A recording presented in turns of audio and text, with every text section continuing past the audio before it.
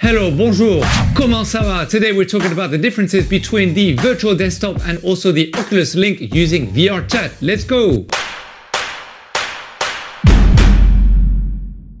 Welcome back to VR Essentials where we talk about the practical uses of VR. Whew. My name is Lazius K. Now in the previous video we spoke about the differences between the Oculus Link and the Oculus Quest using VR chat.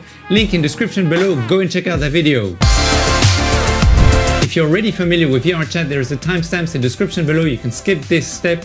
Otherwise, VRChat, for those who are not familiar, it's a really awesome app where basically you can go and wander in thousands of different worlds, meet tens of thousands of different people. It's not just great for the consumer, but also for companies who are looking to get into VR and promote their products and services to early adopters. You can customize avatars and environments to your heart's desire. So let's go and play a little game. Let's see if you can tell what is the difference between the virtual desktop version and the Oculus Link version. Comment below if you think this is the Oculus Link or the virtual desktop version. For those that got it right, yep, this is the Oculus Link version. And what about this one? Is this Oculus Link or virtual desktop version? If you said Oculus Link, well, I'm sorry you would have got it wrong. This is the virtual desktop version. Just to give you some information about my hardware, I'm using an i9 700K chip by Intel, as well as an RTX 2070 card by NVIDIA, GeForce, and 5 gigahertz Wi-Fi. If you have different kind of hardware, let us know in the comments below so that we can share this information as to the performance of VR chat using virtual desktop or perhaps even other apps with the rest of the community. And what about this one? Is this virtual desktop or the Oculus Link version? This is neither the Oculus Link nor the virtual desktop. This is actually the Oculus Quest version. And just for fun, do you think this is Oculus Quest, Oculus Link, or the virtual desktop version? And this is the virtual desktop version. So as you can tell, it's pretty difficult to tell the difference between the Oculus Link and also the virtual desktop version. For the Oculus Quest, as I mentioned before, there is another video that I did. It's more easy to tell the differences because there's definitely a huge difference in graphics and performance. Now let's talk about the similarities first.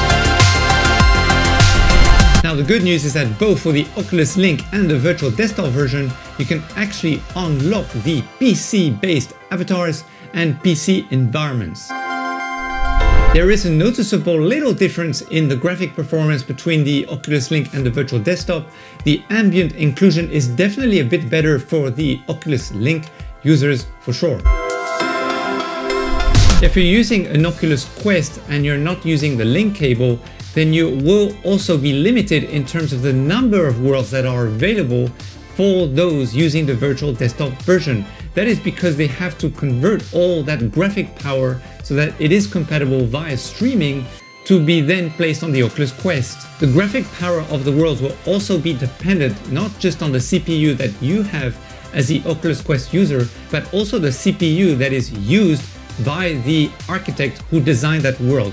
So if their graphic power or their machine doesn't have a really big chip, then the effects of the graphics will also be very greatly affected when you visit those worlds. So I noticed when I was trying to find some worlds, I couldn't find some of those worlds that I could seek in the Oculus Link version when I was using the virtual desktop. However, once you go inside of the virtual desktop world, some of them are really beautiful. The ambient occlusion, the lighting, the specularity, the way the fire is going, and also things like the, the gradients on shiny objects. I mean, they are really nicely done.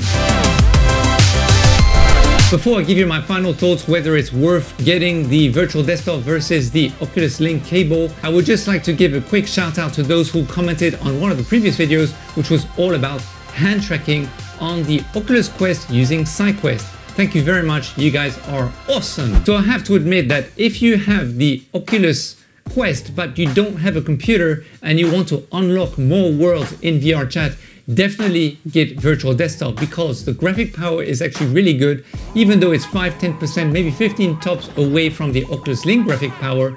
You're gonna meet tons more people and also be able to navigate in a lot more worlds more freely than if you don't have virtual desktop. If however you are someone who can enable your Quest to be linked to the computer using the Oculus Link cable, then I think since there's already only about 10% in graphics performance differences, and if you're not too bothered about unlocking every single feature in VR chat, then I definitely think getting virtual desktop is a great alternative because it doesn't really cost that much and you're gonna have a lot of flexibility within that app. Of course, enabling with the Oculus Link means you have total freedom in VR chat, being able to go to every single world. Thank you for watching this video. Remember to like and subscribe, share some love so that you and I together we can grow the community and help as many people in VR. Yeah, because that is what it's all about. All right, until next time, take it easy. DJ, as always, take it away. Woo!